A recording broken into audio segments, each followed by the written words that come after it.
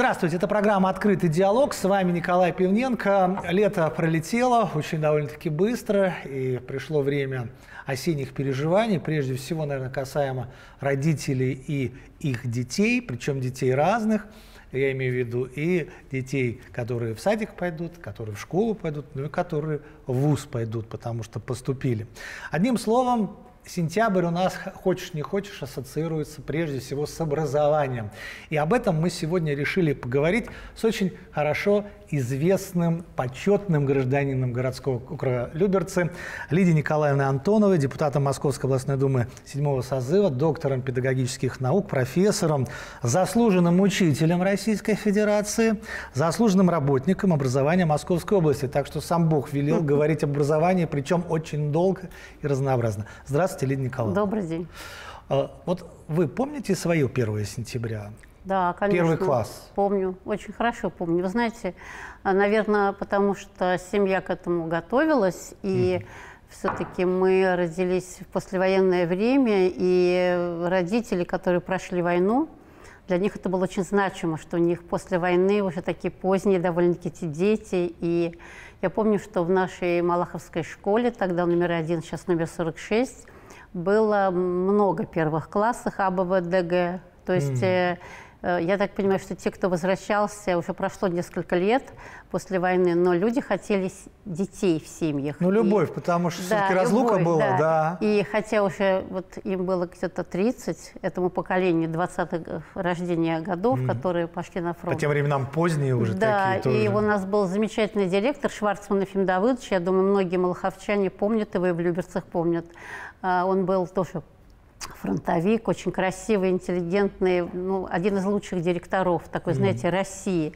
Вот, и я помню эту замечательную линейку, и э, там был такой момент, который потом мне уже родители рассказывали, и сам Ефим Давыдович, с которым я много лет дружила, он говорил, что линейка была бурной, такой много людей. И потом он сказал, ну, может быть, кто-то из первоклассников хочет сказать. Ух ты. И вот мои родители очень удивились. Я была одна из по росту небольших первоклассниц.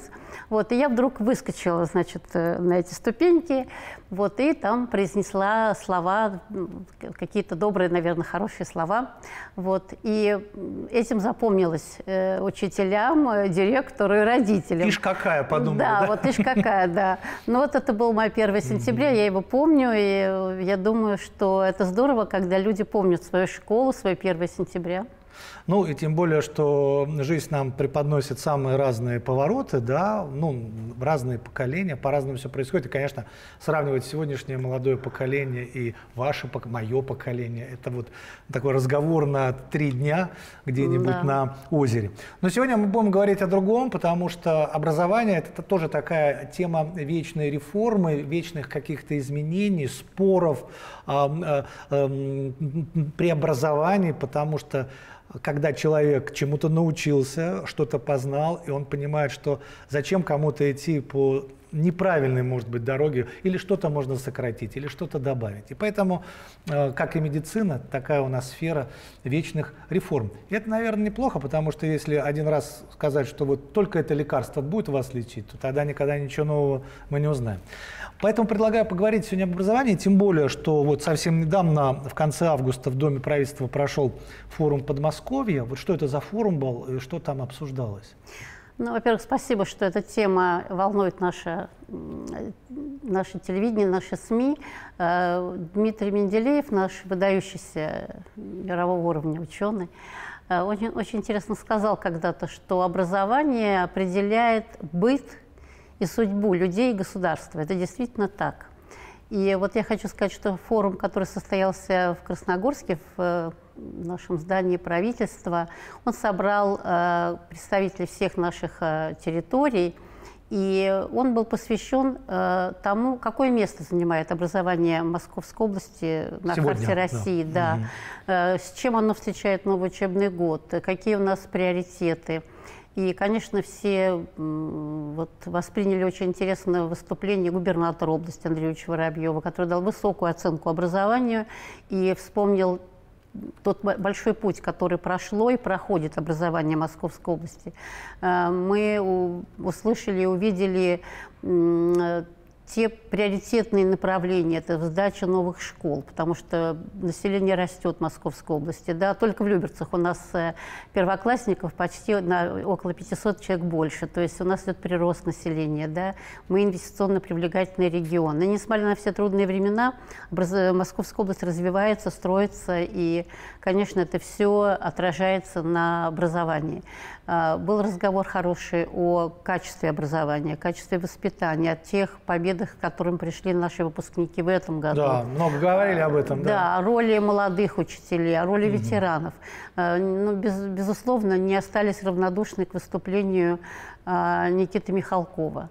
Знаете, вот э, много лет мы наблюдаем за его творчеством, и я, например, конечно, как многие другие, влюблена в его образ, который он создал в фильме «Я шагаю по Москве», mm-hmm. хотя потом было много других замечательных фильмов, но вот он у меня ассоциируется с такой весной, Москвой, да. Россией, вот новый такой, да. Mm-hmm. И он очень э, такой свой, очень интересный экскурс э, дал исторические события сегодняшнего дня.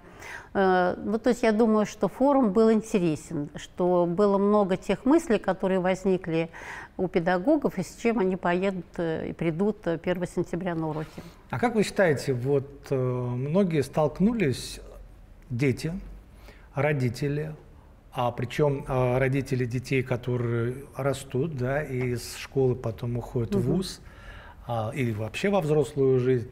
Насколько сегодня а, строчка вот ковид, а, постковид, вот эти два фактически года, ну полтора точно, которые очень изменили ситуацию.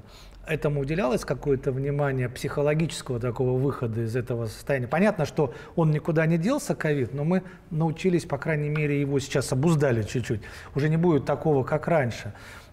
Этот какой-то осадок остался – я думаю, знаете, вот одно из таких, э, может быть, важных выводов, которые, я думаю, мы многие э, к ним пришли в результате вот этих нескольких лет, это то, что в быстром режиме надо было переосмыслить возможность э, дистанционного и очного обучения. По-новому э, совершенно. По-новому, да. да. И то, что как бы где-то э, ну, как бы декларировалось, что мы готовы к полному вот, дистанционному обучению, mm-hmm. показало, что это неправда, и что, конечно, надо не только оснащать, например, нашей аудитории, и там повышать скорость интернета, возможности, доступа mm-hmm. и так далее. Но очень важно, что в нашей голове происходит, потому что вот здесь э, действительно было педагогам трудно. Я думаю, что не только общеобразовательных школ, но и высшей школе, потому что одно дело э, человек привык э, читать лекцию или давать урок и смотрит в глаза своим Тактильно, воспитанникам, да. да, то есть все видят, Знаете, все а другое дело, ты видишь экран, и mm. ученик, особенно если, ну, даже не то, что нерадивый, это просто природа человека. Mm. Он может отвлечься, он может он как бы перед экраном, да. В общем, это был, конечно, э, очень большой шок для родителей, mm. педагогов. Я хочу сказать, ну, в принципе, достойно прошли. Конечно, наверное, Э, надо было, особенно в каких-то предметах, где нужно не только головой, как бы и руками, там, да, физика, химия, угу. или там вузы, которые практика, это было сложно, но это каким-то образом потом старались э, наверстать. Поэтому вот э, родители очень боялись, что будет только электронное образование, только для, так, значит, типа, знаете, как родители говорили, ага, ставить школу только для богатых, ну вот а, типа очный. Ну, да, да, да. Вы знаете, я думаю, что жизнь, она ведь э, нам как бы подсказывает решение вопросов. Э, понятно, что в современном мире а, должны присутствовать как очные, так и заочные формы. Я имею в виду заочные, дистанционные. Потому что где-то можно быстрее получить информацию, где-то есть более качественный продукт, который может помочь э, разъяснить ту или иную тему. Но надо делать это разумно, Конечно. и тогда, когда это именно на пользу. Ну, а, в какой вот. степени это был такой новый вызов, и если правильно им воспользоваться, то Конечно. сочетание этих форм да, это э, позволит. Потому что, ну, например, я помню, сейчас на секунду от образования, когда неожиданно все ну, ведущие театры мира выложили бесплатно да, свои работы. То есть для человека, который интересуется театром, для актера того же, который собирается быть актером или режиссером, ну, посмотреть это, когда он мог бы это увидеть бы. Поэтому э, вот сейчас важно э, уловить этот момент да, и попытаться его внедрить по-новому. Я знаю, что вы принимаете участие, ну, по крайней мере, душа ваша точно настроена. Знаете, как вот раньше говорили, вот раньше было хорошо угу. образование в СССР. И казалось бы, что э, людям уже с опытом, ну, это логично приписывать. Я знаю, что вы немножко по-другому смотрите на эту проблему, потому что понимаете о том, что каждое новое поколение, оно новое. Конечно. И нельзя одними и теми же методами пользоваться. Вот на ваш взгляд, что сегодня необходимо для того, чтобы ребенок почувствовал не только, что его заставляют идти в школу, хотя всегда так было, но что ему хотелось туда идти? Конечно, очень много зависит от настроя а, семьи, безусловно, и от настроя самой школы, самого учителя. Mm-hmm. Знаете, вот когда мы, э, естественно, критикуют, каждый человек критикует что-то или прошлом или в сегодняшнем, или как он думает о будущем. И нам иногда кажется, что было лучше, ну просто потому, что мы были моложе, Конечно. и нам было интереснее что-то.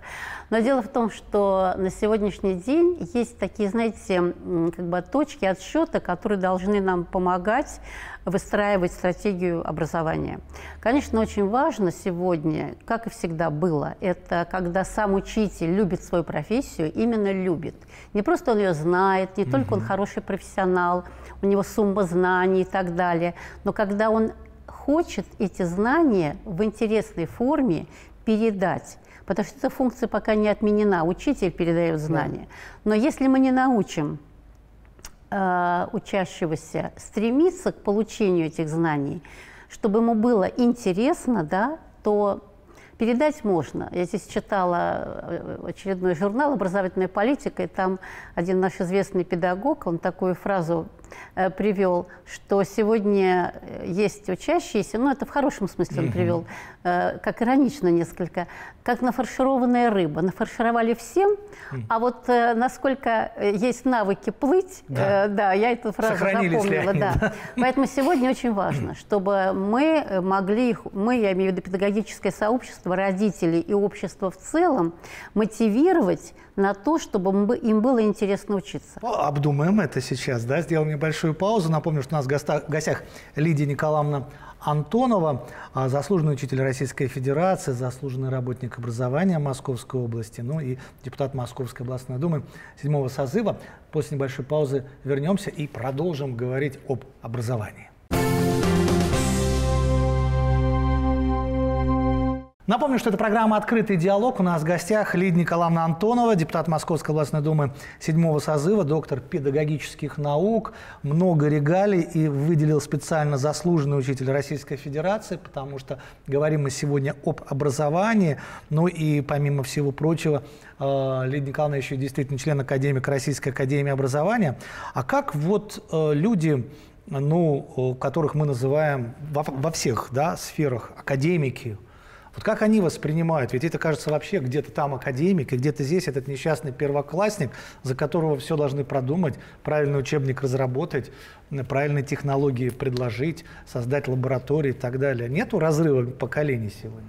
Ну, вы знаете, я думаю, конечно, такой разрыв может быть так, чисто психологически, но на практике сегодня, вот если возьмем нашу родную Российскую Академию образования, где я имею честь состоять, она очень ориентирована на практическую деятельность со школами наш президент Ольга Юрьевна Васильева, она как бы поставила это как основную задачу сегодня нашей академии. И у нас многие академики, они академики из образования, реально, которые преподавали в школах, э, которые вели большие управленческие То системы. То есть были на земле, как у нас были говорят. Были на земле, да. да. Вот э, опять-таки, читая последние публикации, например, своего коллеги Исаака Калины, которые ну, когда-то были региональными министрами, угу. сейчас он занимается повышением квалификации в, на уровне Москвы, Федерации, и он очень хорошую мысль высказал, что Э, а готова ли школа отвечать не просто за тот период, когда дети в школе, а за то, как они будут жить потом, вне школы. Умеем ли мы так воспитать человека, чтобы он был готов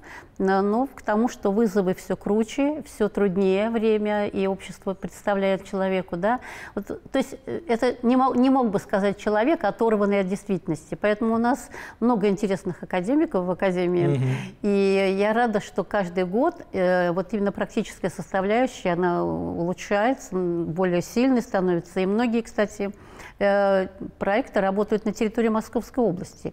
И здесь, кстати, не отстает и наша ассоциация педагогов Подмосковья. Там mm. тоже много э, и педагогов, учителей, и много работников высшей школы. И вот, например, если взять ассоциацию учителей истории, и э, только за этот год они провели большое количество не только семинаров, там, диалогов по э, актуальным темам современности mm-hmm. и традиционной истории да, нашей, но конкретно, например, практические занятия с ребятами одаренными в, в, в наших Люберцах. Угу. То есть очень практически направленность. Или, например, сегодня э, большая задача стоит помочь э, педагогам методически быть готовым к введению новых э, обновленных федеральных государственных образовательных стандартов.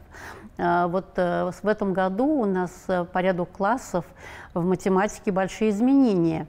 И вот, например, Ассоциация педагогов математики Московской области готовит сейчас методические пособия для того, чтобы учитель мог это, ну, как бы... Проще войти в это. Войти в это, да. И там есть действительно такие трудные моменты, и они этим занимаются, и вот я, это меня очень радует. То есть у нас Э, такой сегодня хорошая тенденция в образовании России – это э, роль педагогических сообществ в развитии, совершенствовании педагогического мастерства учителя. Не только привычная вот такая управленческая, знаете, mm-hmm. вертикаль, когда тебе дают директивы, и ты должен выполнять. Я как учитель, все-таки первоначально я ну, учитель да. с большим стажем, и я помню и знаю, и до сих пор в это верю. Пока сам учитель не воспримет ту директиву, если она есть как директива, идет сверху, что это то, что мне нужно, и я этим хочу заниматься, это может остаться на бумаге. И вот именно задача, чтобы верх и низ, они совпадали, совпадали чтобы да. это было на благо. Ну и чтобы он чувствовал, наверное, самый молодой, неопытный или даже опытный и не молодой учитель, чтобы он чувствовал, что он не один, а что за ним идет вот целый да, коллектив такой его коллег, которые над этим подумали, поработали, предложили несколько вариантов, чтобы прийти к правильному Конечно, решению. чтобы было именно сообщество. То есть, mm-hmm. когда ты можешь э, сравнить свои возможности, можешь узнать, как это лучше сделать, э, Сильнее у кого-то получается. Да. Это где-то вот, знаете, как спортсмены. Да. Они же приходят на тренировки других спортсменов, они mm-hmm. смотрят. И учитель – это такая профессия, которая, ну, учиться надо всю жизнь, безусловно. Вот я ехала к вам, и я учусь, то есть я читаю. И на самом деле э, жизнь так идет быстро, что если ты не будешь, как помните, Алиса в Зазеркалье, еще быстрее обижать, да. то ты будешь стоять на месте. Да. Но главное не перебежать тоже, да? Но, прибыть, знаете, прибыть в место. Да. Вот я к чему веду? Просто угу. очень часто а, образование советское, а, постсоветское, российское, а, вот, ну, не хочется это слово говорить, но все равно его всегда ругают, да, по, по разным причинам, за то, что вот иногда э, решения чуть-чуть запаздывают, то есть время чуть-чуть идет вперед, а решение приходит чуть-чуть позже. Либо, э, сравнивая опять же с медициной, когда, помните, ввели, что человек должен, э, врач, вместо того, чтобы на тебя хотя бы посмотреть, он 15 минут заполнял угу фамилия, имя, отчество, где родился, ну полных да. лет и так далее. То есть вроде бы по букве закона все правильно, потому что все же должно быть задокументировано. Но мне-то хочется, чтобы он на меня хотя бы посмотрел. Вот э, насколько сегодня вот это соответствие реальности э, тем вызовам, которые есть у родителей, у детей, да, соответствуют те программы, которые принимаются. Невозможно же программу за месяц сделать и новую принять. Ну, вы очень хорошую тему затронули. Это тема, которая а, говорит о том, что есть э, сегодня, как во всех отраслях, в образовании понятие рейтингования, да, мониторинг, рейтинги и так далее. Угу. Вот насколько эти результаты рейтингов соответствуют реальным навыкам которые приобретают дети в школе. Mm-hmm. Реально тем э, как бы копилки знаний, которые им поможет стать личностью, развиваться. Эта тема интересная, она одна из самых таких актуальных тем сейчас педагогических исследований. И вот здесь, конечно, знаете, я думаю, почему отстает? Потому что родители и дети, они про, участники процесса. Учитель тоже участник процесса. Mm-hmm. Управленческая линия, ведь у нас огромная страна, у нас регионы разные. Тут очень сложно, чтобы было, понимаете, единое хорошо, но оно должно быть единое в разнообразии. Или разнообразие в единстве. Чтобы реакция была быстрее. Да, потому что, mm-hmm. понимаете, есть национальные республики, есть свои традиции. Вот, э, и если мы будем только все, как говорят, нам нужен да, проще быть с одним учебником, проще. Но как в этот один учебник э, вписать особенности, например, Московской области и, например, там Татарстана, Да. чтобы там все было? Не получится. Не получится. Не получится. Значит, все равно понятно, что должна быть разумность. Не бесконечное количество учебников, а разумное, но все-таки вариативность в образовании нужна, потому что мы люди разные. У нас должны быть идеалы, которые нас объединяют. Это да, там, патриотизм, э, the добросердечность, э, я не знаю, там, ну, много качеств, которые Умение мы считаем... жить умение, правильно. умение жить, Да. знаете, трудолюбие и Да, так далее. трудолюбие. Но есть вещи, которые характерны каждому народу, и это надо развивать и поддерживать. То есть гибкая должна Да, быть понимаете, система. то есть можно строить единство в разнообразии и учитывать все это. Поэтому вот с точки зрения образования здесь, безусловно, с одной стороны рейтинги, да, знаете, с рейтингами просто легче. Конечно. Когда управленец получает все эти таблицы, я тоже много лет управленцем была, а, но если это все время уходит на таблицы рейтингования, галочку. да, то, что вы сказали, мы забудем про ребенка. Поэтому последние документы федеральные, которые к нам пришли, нас радуют. Учитель сегодня обязан заполнить только пять основных документов. Но посмотрим, как это будет реально в жизни. Да, хорошо. поэтому это уже радует. Очень важный вопрос хочу сейчас поднять, потому что до сих пор многие не могут для себя дать на него ответ. Прежде всего, даже профессионалы не могут. Потому что учение и воспитание. А, научить-то, наверное, можно, да, ну, я не знаю, там, машину водить можно научить? Можно научить, да. Нужно для этого воспитывать? Вопрос. Воспитывать нужно, наверное, каких-то там, ну, некоему мастерству. А, поэтому очень многие молодые учителя и даже учителя со стажем, они технологичные. У них как бы э, не стоит задача, ну, что-то в человеке поменять. Да, получить вот эти вот баллы, да, все хорошо, сдать его в высшее учебное заведение. Ну, конечно, чтобы ничего плохого не натворил за время школьного периода, потому что это тоже отчетность. Вот. А потом хоть трава не расти. И поэтому э, даже я помню в советское время мы молодыми студентами э, всегда считалось, что в педагогику вот э, идут в основном девочки, потому что там попроще. Вот. Ну и как-то так, э, ну, я, я учился просто на физтехе, мое первое образование, у нас там все жестко было. Вот. Но насколько воспитание является сегодня важной составляющей образования? Вот это главный вопрос. Я к нему долго шел, но мне кажется, это важно. Да, безусловно. И я уверена, что обучение и воспитание – это, конечно, опять-таки, две стороны одного процесса. А, Потому что любое обучение, любой э, как бы, учебный процесс – это дей- действо. В принципе, что объединяет людей? Это старая мудрость, людей объединяет общее дело. Поэтому вот здесь оторвать обучение от воспитания очень трудно. Даже те педагоги, которые, как бы, знаете, был период, э, ну, не, не так давно, когда говорилось, педагог – это тот, кто входит в класс, дает сумму знаний, и из него выходит. Я помню, как это Сумма знаний – декларировалось слово, на да, совещаниях. Да. Это, это невозможно. Даже своим нежеланием воспитывать он уже воспитывал, понимаете? Поэтому на самом деле э, у нас есть прекрасные педагоги, которые отличные воспитатели и не очень сильные, может быть, предметники, такие есть. Но тем, что они умеют э, мотивировать детей к общению с собой, они их мотивируют затем к изучению предмета. И здесь, конечно, очень большая роль дополнительного образования, образования, которое вне школьного процесса, это их как бы конек, да.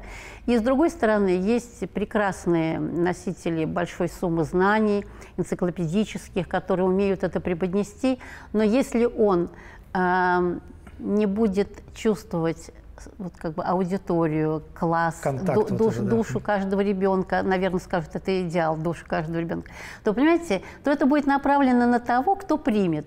Это какой-то небольшой процент в этой группе детей. Как правило, не все дети так мотивированы, чтобы вот даже если у него дистанционный экран, там учитель дает урок, и он прямо добросовестно. Сколько таких? Один, два, три из группы детей. А вот захватить своим э, умением э, мотивировать ребенка, чтобы он был таким, чтобы ему было интересно, и он не считал время, сколько останется до конца урока, это как И раз и называется, остаться, да. как он- это называется, как стать э, хорошим учителем. В этом разница. Мне сегодня один очень хороший человек спросил, «А в чем разница понятия педагог и учитель? Вот, вот как раз в этом разница. Поэтому Настоящий учитель – это педагог и воспитатель, безусловно. Ну и финальный вопрос, не могу его не задать, накануне, так сказать, 1 сентября, э, или даже, потому что 1 сентября у нас там на целых 10 дней угу. да, раскатывается, где-то позже начинается, угу. тем более тут мы в выходные попадаем. Вот новая школа будущего, вот вы с высоты своих э, таких больших педагогических знаний, какой она будет? И скоро ли эта новая школа будущего настанет? Знаете, новая школа, она уже сегодня есть. То, что происходит каждый день в школе, это есть новая школа. В ней есть то, что сегодня, в ней есть то, что лучшее было, и в ней растет, может быть, еще незаметно то, что будет. Угу. Конечно, любой учитель, э, мне кажется, хочет иметь такую школу. Когда-то Сухомлинский, большой педагог наш великий, называл это «школа радости». То есть то, куда ты стремишься, куда ты не можешь не пойти через экран дистанционно, через ножками прийти, то, где тебя ждут, то, где тебя уважают, независимо от возраста и твоих оценок, то, где тебя любят. Вот это очень важно. И вот в этом смысле нам надо э, беречь опыт э, тех педагогов, а их много в Московской области, в наших Люберцах, которые умеют это делать. Вот э, когда мы говорим, почему я начала с предметов, что это важно, труд, я очень хочу, чтобы больше молодых, умных, талантливых ребят приходило в школу. Но не получается, чтобы э, создать талантливых инженеров, врачей, педагогов, музыкантов и так далее без талантливых Конечно. Знаете, кому-то Бог дал, безусловно, но таланты надо развить. И сколько талантов мы не развили? Это наша проблема. Поэтому очень хочется, чтобы те молодые учителя, которые в этом году приходят, придут в школу, чтобы они в ней даже если им будет очень трудно, а им будет трудно, стопроцентно, это, это, это всегда было, если будет, чтобы они задержались и подумали, я зачем пришел? Только для себя или я пришел для них? Вот понимаете, тут момент такой. Чем больше будет талантливых, свободных, умных учителей, тем больше будет интересных школ, и тем лучше будет э, Наш, интереснее наша жизнь. Наша жизнь. А сегодня, да. особенно вот в такой период, когда мы переживаем действительно исторический момент, а что наша опора, в том числе школа? Если родители, наше общество будет верить в школу, уважать ее, то школа – это опора, это надежда, это наша любовь. Остается сказать «Здравствуй, школа». Здравствуй, школа, да. Большое спасибо. Лидия Николаевна Антонова, депутат Московской областной думы седьмого созыва, доктор педагогических наук, заслуженный учитель Российской Федерации, действительно член-академик Российской Академии Образования. Поговорили, мне кажется, очень интересно о школе. Прям захотелось мне тоже в первый класс вернуться. Вот видите, это мотивация. Да. Ну что ж, всем хорошего начала нового учебного года, чтобы родители не особо переживали, ну и чтобы таланты детей раскрылись максимально. Это была программа «Открытый диалог». С вами был Николай Пивненко. До свидания.